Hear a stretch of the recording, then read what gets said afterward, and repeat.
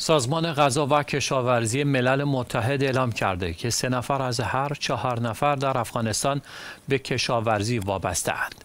این سازمان به مناسبت روز جهانی غذا اعلام کرد که از هر سه نفر یک نفر به دلیل شوک‌های اقلیمی و بی‌ثباتی اقتصادی با ناامنی غذایی مواجه است.